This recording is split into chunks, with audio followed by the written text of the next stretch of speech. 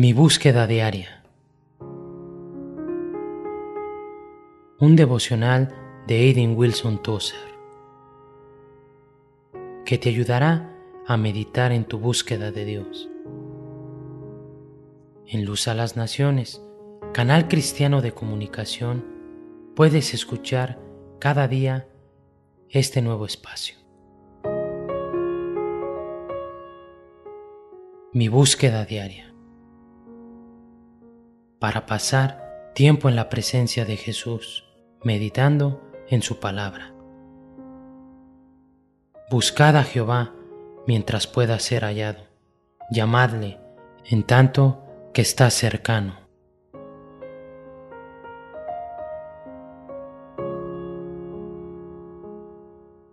...10 de julio...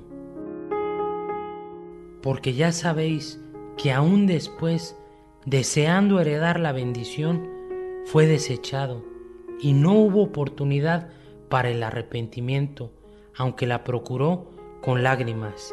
Hebreos capítulo 12, versículo 17. El cristiano promedio piensa que porque ha oído una verdad, ahora es suya. La espiritualidad no es como el estudio. Cuando estudias, Lees los libros de texto, memorizas algunos datos y ya dominas el tema. Con lo espiritual no es así.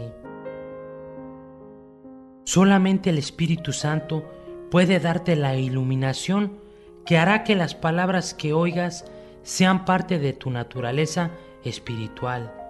El Espíritu Santo quiere abrir nuestros corazones para que la verdad forme parte de nosotros. Muchas veces hay cosas que impiden la obra del Espíritu Santo, por lo que no puede iluminarnos. Para cada cristiano podrá ser algo diferente. Limpiar los residuos espirituales es un proceso continuo y la herramienta que tenemos que usar es el arrepentimiento.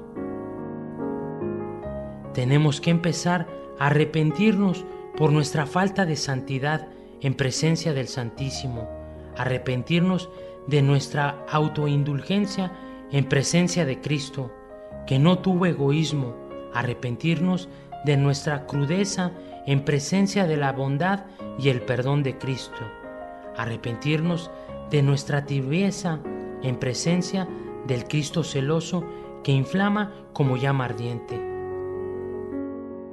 el Espíritu Santo nos guiará a cada uno al área en la que debamos arrepentirnos. Santo Consolador, tu aliento pone en mí, que lo que tú amas pueda amar por tu voluntad en mí. Edwin Hatch.